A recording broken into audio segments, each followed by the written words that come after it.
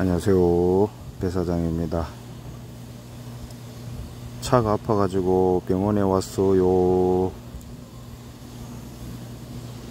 토요일날 토요일날 아침에 일 가려고 시동을 보니까 냉각수 경고등이 뜨더라고요. 부족하다고. 그래가지고 토요일날 2리터 정도 보충을 했거든요. 그리고 타고 월요일날 아침에 또 일 가려고 시동을 걸었는데 또 경고등이 떠요 냉각수 부족하다고. 그래갖고 1리터를 또 보충했거든요. 그러고 좀 전에 하차할 때 에어컨 물이 좀 유독 많이 떨어지길래 봤더니 에어컨 물이 아니고 냉각수였어. 핑크색이더라고요. 아, 그래갖고 냉각수 부족 경고등은 안 떴는데 지금 여기 왔거든요 라디에이터 윗부분 꼭지가 약간 터졌는데 그 스카니아가 거기가 잘 나가는 부분이라고 하대요. 꼭지에서 조금씩 새는데 그냥 조금씩 세면은 거기 뭐 철본드 발라갖고 하면 되는데 난 좀 많이 새가지고 라디에다 교환 판정 받았습니다. 그래갖고 지금 교환 들어갔습니다. 한 3시간 걸린다는데. 아 우울하네.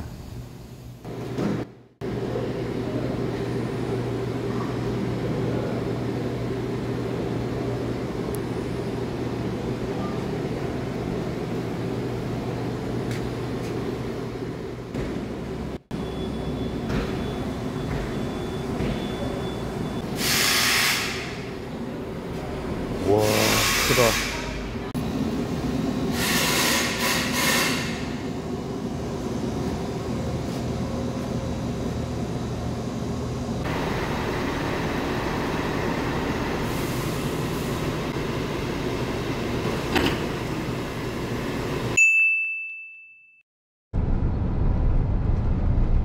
시원하게 150만원 3개월 할부로 끊고 나왔습니다. 두세 시간 걸린다 근데 시간 많이 걸렸다. 지금 한 4시간 4시간 걸린, 거- 걸린 것 같은데. 아 수리비 썼으니까 또 일을 해야지. 내일 도착 물건 야상 상차하러 가고 있습니다. 아 비방울이 떨어지네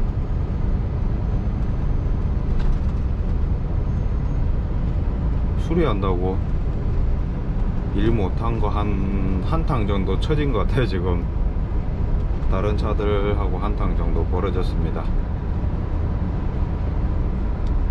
저게 라지에다가 지금 비품 끼웠거든요. OEM 거. 108만원인가? 정품은 200이 넘는다네요. 그러니까 같은 제조사는 같은 건데 이제 스카니아 스티커만 붙이면 정품이 되는 거고 스티커 안 붙이면 이제 OEM이 되는 거고 그걸로 하고 끼웠습니다.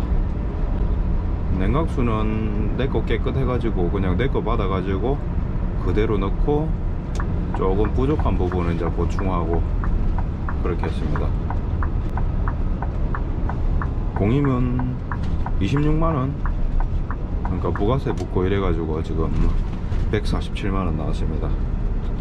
스카니아 타시는 분들은 확인을 한번 해보셔야 될 것 같은데 3년 4년 타면은 다 나간, 나간다고 하니까 고장이 나가지고 샌다고 냉각수 샌다고 하는데 나는 지금 상당히 오래 탔다고 하네요. 아 거기 스카니아 지금 이게 R490이 이슈가 몇 개 있거든요.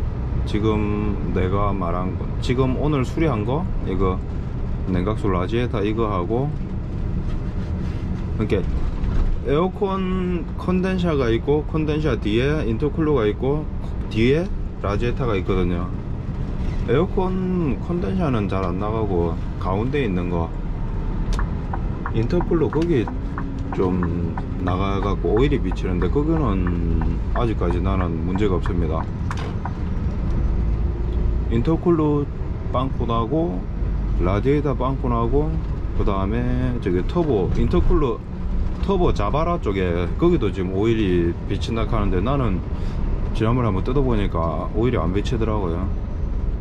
하차 할 때 대기하면서 여기 저기 밑에 조수석 밑에 보면 에어컨 물이 떨어지잖아요. 세 군데에서 물이 떨어지는데 두 군데는 수도꼭지를 덜 잠근 것처럼 많이 떨어지고 한 군데는 안쪽에서는 조금씩 뚝뚝 떨어지대요.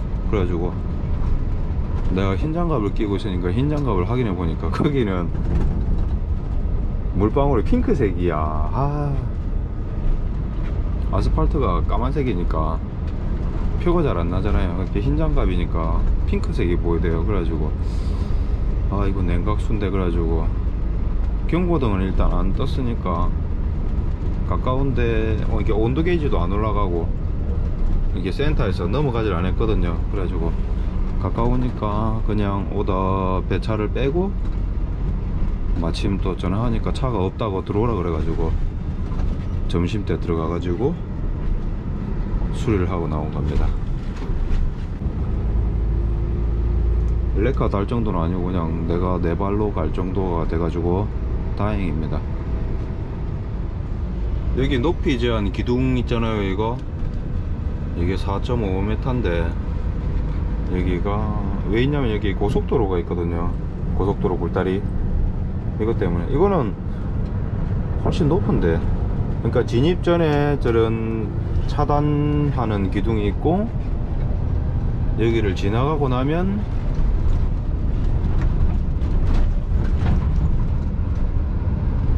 여기 커버 틀 쪽에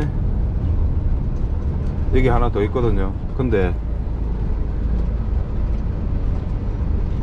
없어졌습니다. 여기 있었거든요. 여기 버스 정류장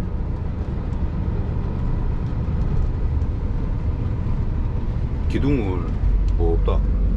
기둥 뽑아버렸습니다. 왜 그러냐면 뭐 지난번에 5톤차 윙바디가 저기 낑겨 가지고 와 도로 마비됐었거든요.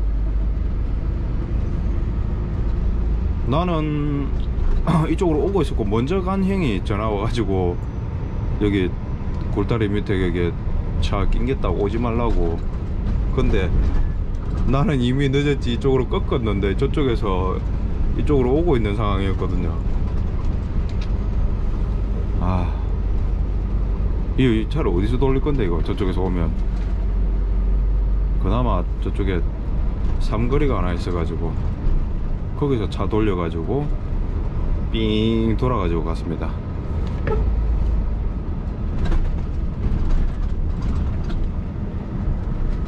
이런 시골길 오면 주레라 차 돌리기가 아 여기도 돌릴 수 있겠네 차 돌리기가 힘들어서 정신 바짝 차려야 돼요 여기서 돌렸습니다 그때 여기 25동 카고 차고 방통차들이 많이 다니더라고요 저기 개근대가 있나? 여기서 잡아 돌렸습니다 개근대 없는데? 저기 뭐 사무실인가? 아, 아무튼 5시 반인데 수리를 완료하고 야상을 실을 수 있어서 다행입니다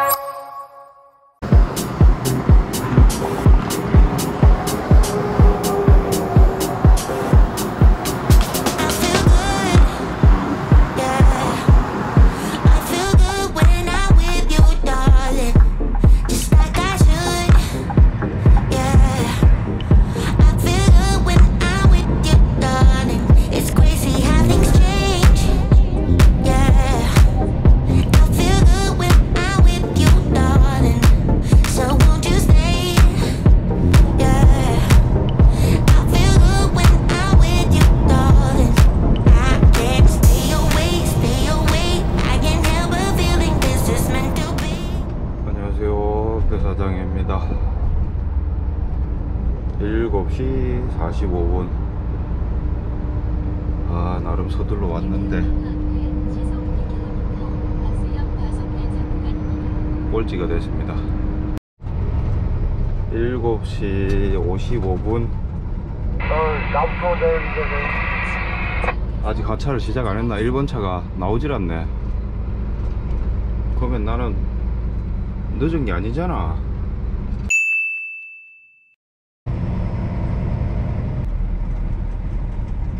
난 늦게 와가지고 네.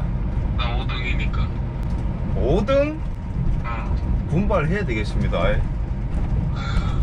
아니 몇 시에 왔는데 5등입니까? 6시 반. 아 애매한데.